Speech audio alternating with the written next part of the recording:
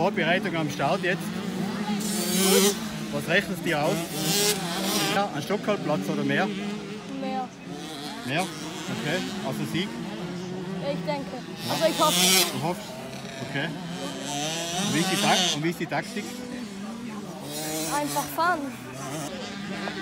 Ja, zwischen den zwei Teams rein, das wird eine harte Geschichte, oder? Ja, ich muss schauen, dass ich mich ähm, behaupten kann, aber das schaffe ich schon. Wie ist die Taktik? Ja, alles geben, was man kann und ja, das soll man eigentlich bei jedem Rennen machen. Alles Gute. Danke. Guter Boden für einen guten Start. Ja. Und was ist die Taktik jetzt für den Start? Geradeaus. Volle vor. Ja. Zum Sieg. Hä? Zum Sieg. Ja. Alles Gute. Danke.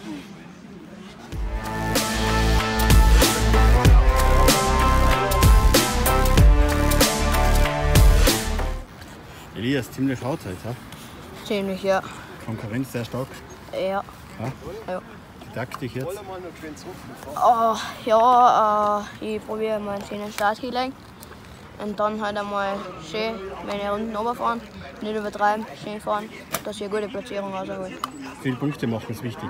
Ja. Ja, alles Gute. Danke. Bist schon ganz heiß drauf. Ja. Es geht. Freust du auf das Rennen? Ja. Super. Ich wünsche mir alles Gute, gell? Danke. Ja, und der Raphael, der mit der 85 Kubikzentimeter heute beim Training souverän gefahren ist. Wie ist er denn gegangen, Raphael? Ja, gut. Die Strecken ist ziemlich cool, war gut repariert und taugt mir. Was bist du geworden jetzt im Training? Ähm, 12. 12. bin ich. Bist du zufrieden? Ja. Was hast du da vorgenommen für das erste Rennen? Ja, Top 10 war cool. Gut starten, dann schauen wir, was rauskommt. Was ist die Strategie? Auf jeden Fall einen guten Start und dann aggressiv fahren. Und was ist jetzt die Taktik fürs Rennen?